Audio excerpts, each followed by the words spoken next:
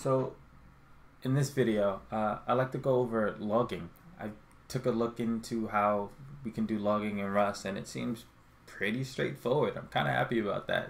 So yeah, let's get it. All right, so where did I start? Um, in the Rust cookbook, there is a debugging section. So it's under development tools, debugging, log messages. When you come here, one of the first things you see is that they use environment logger and log. Um, I first thought it thought it was kind of awkward that you had to use both, and the reason why I say you have to use both is if you go to environment logger. Oh, let me go to the crate. If you go to the crate, you can see that in the uh, caramel dot cargo.toml file, you have to have both installed. It was like, okay, so they're being used together. That's fine. Um, and what does it state here? The log crate provides logging utilities. The environment logger crate configures logging via an environment variable. The log debug macro works like other standard format formatted strings. So let's break that down. The log crate provides logging, uti logging utilities, and by logging utilities, they mean a bunch of macros that you can use. So like debug is used here. I believe there's info, warn, just a whole slew of them. And those macros all work like any of the standard format, meaning that you could use the string and then um, pass in variables, just like you would for a formatted string. All right. And then environment logger. Crate configures logging via environment variable, meaning that there is environment variable that you use to set the uh, logging level. So here they set the logging level to debug, and then they did cargo run. And it didn't have to be cargo run. They could just did it. They could just ran the binary directly, either or. Cool. So that makes sense. So here you get to see the basic sort of workflow. Um, you have the environment logger, you initialize it. Initialization for a logger typically happens should happen only once, and it typically happens at the very beginning of your program. And then they ran a function, and in the function there was a logging statement. And if you want to be able to see that logging statement, then you have to have the log level set. And the log level setting, I'll, I'll go over that in a little bit. But um, so that's the example they have here. I think a better example is the one they have on the uh, environment logger documentation. So if we scroll up to the top of the documentation, right, the first thing they come out was this, this, which is a full example. Has the imports, which is nice. Um, they note that the log crate is an external crate, or external crate, and you want to be able to use the macros from log. Cool, noted. Um, here they also import the level from log because they use it here explicitly for example purposes. Okay. The workflow kind of follows the same way as the other example. We have the initialization of the logger. We have the debug macro, which I believe is from log. We have the error macro, which I also believe is from log. And log enabled, which I also believe is from log. It was checked to see if the logger, uh, the current logger that is set, uh, is enabled for specified logging level. And the specified logging level is from log. Um, I believe it's just an enum where each logging level is associated with a number, and you kind of just compare to see if you're lower than said number. So here we have debug error and info, right? And when you run this, you have to have the environment variable set. So the environment variable, um, the default one is rust log. I believe you can change it in their example, they did use the binary directly.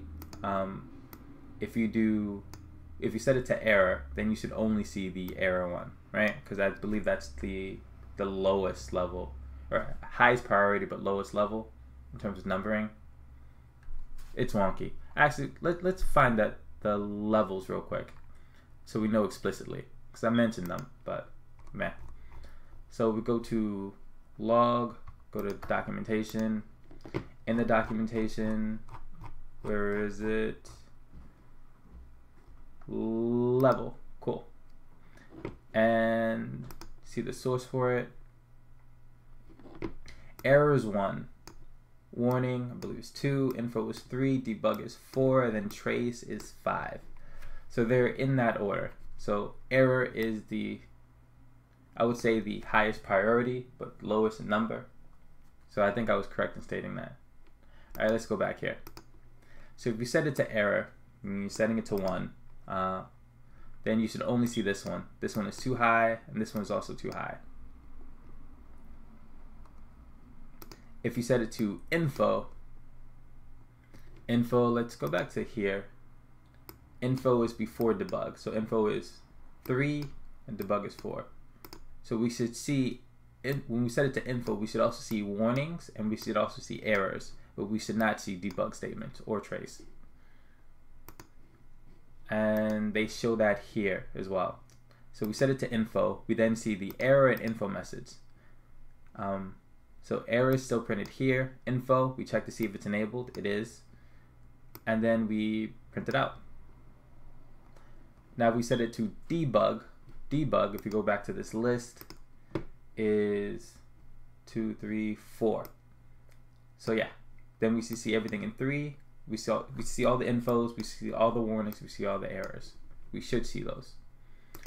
So coming back to here, we note we see the debug, error, and info message. They're all there. Um, also, uh, at least in terms of the, the documentation for the this crate, they go over how to set it for a uh, module. So you can use this syntax with module name and then equals to the level that you want to set it to, or if you just want to have all levels on, then you can just use the module name and that would work. Uh, one thing that's is really really cool about this is the testing. So you can um, have your debug statements or at least your, your logging statements captured in when you run your test harness. So in the documentation, they have this example for test. And let's take a look at this real quick. Just a regular testing setup. They have an init function for their testing setup. In there, they do the this line, um, which is you note that it is a test, true, and then they try to initialize it. And then in their test, they run that initializer. And then they have the info macro, which is one of the uh, log level statements, right? And then you can run your test and then you can have this captured by your test harness. And if you want to see it, one, it should be noted that you still need to use the environment variable. So it will be rust log, I believe it was. Yeah, rust log. And you can set it to info. And then you will do cargo test. And that will allow you to see it. And if that doesn't allow you to see it, oh, it's going to be captured. You can still do the, the dash dash space dash dash no capture. And let me just demonstrate that. I think I have it in my terminal. Let me find it real quick. Rust logging. Can make this big, a little bit bigger. And the logging example. So let me go there. Then source main. So you can see that I wrote it out. Here's the main that they have, and here's the test I added it here. Um, and then I wanted to show you running this. So it is there, we see it. Let's get out of this. So if we do cargo test, nothing pops up. If we do cargo test, dash, dash, dash, dash, no capture. Still don't see it. If you do rust underscore log equals info, now we see it. And it's right there. You can see the info logger. This record will be captured by cargo test. Let me just take out no capture to see if that still works that way. No, so in order to see it, you have to put the no capture flag on your test. Good to know. Uh, yeah, so there was something else I wanted to cover. On the in the Rust cookbook, they go over debug statements, they go over error, but they also go over have writing your own custom logger, which for this you need to implement the log trait from log. And there are three methods to that, right? There's enabled, log, and flush. And writing implementation for the trait is pretty straightforward. Um, enable just allows you to know, or allows the logger to know when it should print a screen or when it should log something. So if you want to have any sort of restraint, you should write it here, return a boolean, true or false. If you always wanted to write, then you could just return true. Uh, log prints out the format that you want it in, and it should be noted that record seemingly does most of the hard work for you in terms of capturing data. You just have to decide how you want to lay it out and they do the self dot enable because uh, I believe it's not guaranteed that this is always going to be ran before this. So you should probably do it in here as well.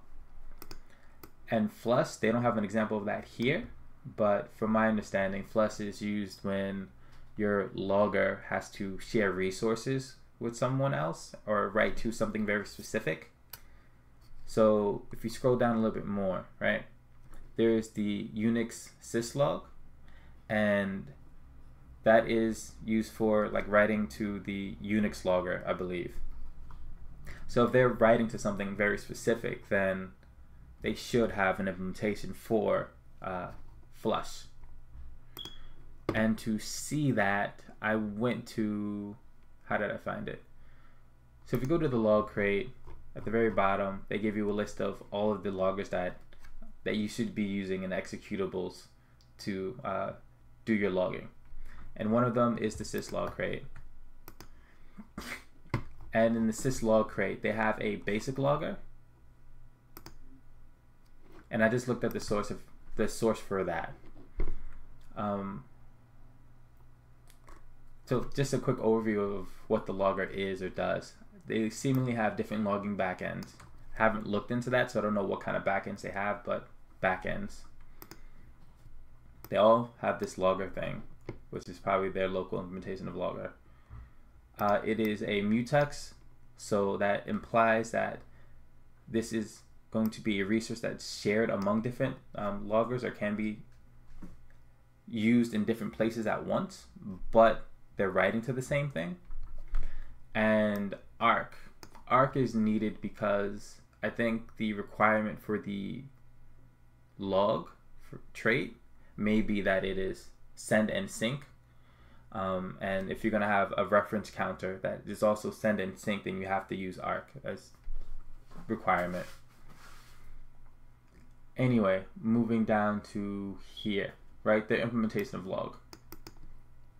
So they have enabled, and this is a basic logger, so they just always set it to true. Um, they have log, which they have some stuff here, which I don't understand completely why they did everything. I don't understand in detail why they did everything they did, but I don't think it's important. Um, it's important for them, but not important for me. I came here for the Flush implementation. So Flush, you can see that they have their self.logger.lock, so locking on the mutex, so nobody else can use the resource at that time.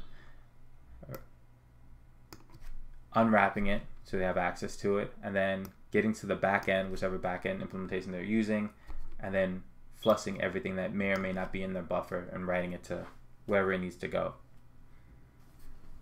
So that if you want to see an example of flush implementation, you can probably just come here and look through the source code.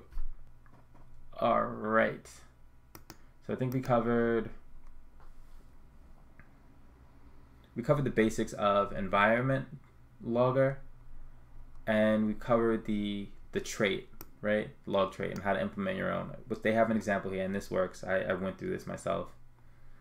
Um, one thing we didn't cover is some of like the minor differences between, or the relationship between these loggers, these logging implementations, and log.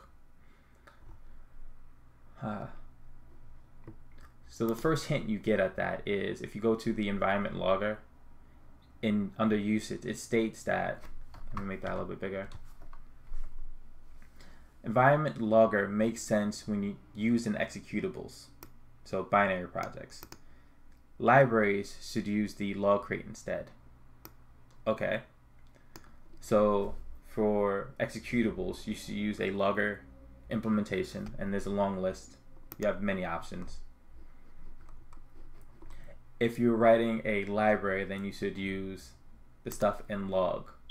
And when I say the stuff in log, I believe they mean the macros explicitly. So when I went to log, right, they have usage in libraries. And I believe this is a library. Never used it before, but I've heard of it. Um, and they use the macros. Cool. So there's a separation. And executables use the uh, implementations and libraries use log directly. Another thing to note is if you go to the beginning of the crate, this statement, right? A logging facade, oh, let's start from the top. A Rust library providing a lightweight logging facade.